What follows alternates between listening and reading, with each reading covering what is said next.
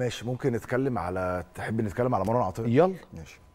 آه أنا بشوف إن مصر كلها لازم تشكر فيريرا مدرب نادي الزمالك على الجوهره اللي اسمها مروان عطية. مم. طبعا الراجل شافه اتكلم مع مجلس إدارة نادي الزمالك مجلس إدارة النادي هنتعاقد مع مروان عطية فالنادي الأهلي قام راح خلص مع مروان عطية وبعد كده تحول إلى أهم وجهة نظري لاعب في منظومة الكابتن حسام حسن. مم.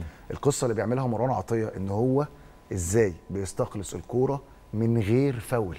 من غير التحامات كتيرة تعمل فاولات أو إنذارات. والإنذار اللي خده امبارح مروان عطية هو كان إنذار في مشادة. حلو. بس تعالى أوريك كذا لقطه القصة في مروان عطية فين؟ الكرة دي كانت الكرة الأولانية الكرة أول ما نزلت الكرة الثانية من آه، لاعبي آه، موريتانيا. هتلاقي على طول مروان عطية هو اللي بيحمي منتخب مصر في الكور الثانية وده اللي قاله الكابتن حسام حسن في المؤتمر الصحفي فاتت بتاع كاب فيردي لما قال لك مروان عطية هو أهم واحد بيقدر ياخد لمنتخب مصر الكرة الثانية هنا مروان أول ما الكرة دخل التحم فيها الكرة ما الكرة ما اتقطعتش لسه برده مكملة. عارف يا كريم قيمته فين؟ قيمته في التوقع.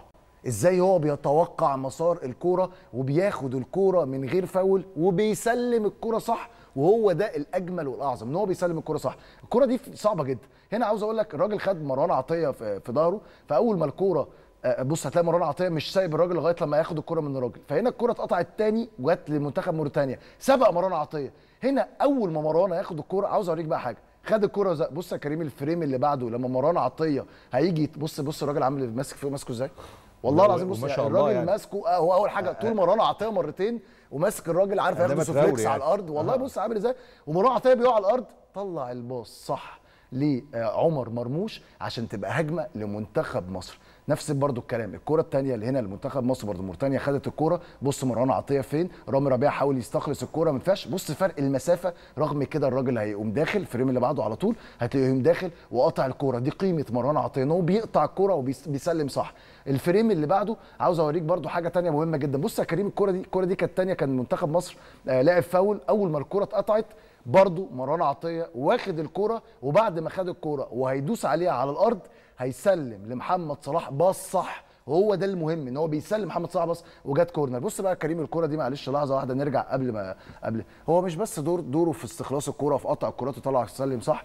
هنا زي ما بقول لك أول ما مروان عطية أنا برضو استلم الكره ال vision اللي عنده قدرته على إرسال الكره العالية شوف ال frame اللي بعده على طول. أول مروان عطية بص يا كريم ال pass ده pass أكتر من رائع. نقل بيه مصر كلها ب pass بمنتهى الدقة وال accuracy عشان الكره لما تنزل هتنزل لمحمد صلاح وبتبقى هجمة برضو لمنتخب مصر لغاية الكره الأخرانية في الصورة اللي بعدها. اللي جت اللي جه منها الهدف اللي كان جيمي لسه بيتكلم عليها نفس الكلام هنا مروان عطية ياخد الكرة وهيلعب. على فكرة هو لعب الكرة دي بوش رجله الخارجي بطريقة معينة عشان السويرف بتاعها لما تنزل تنزل لجوه الملعب. فمحمد حمدي لما يتزق ويدوس عليها كانت بسهولة معاه.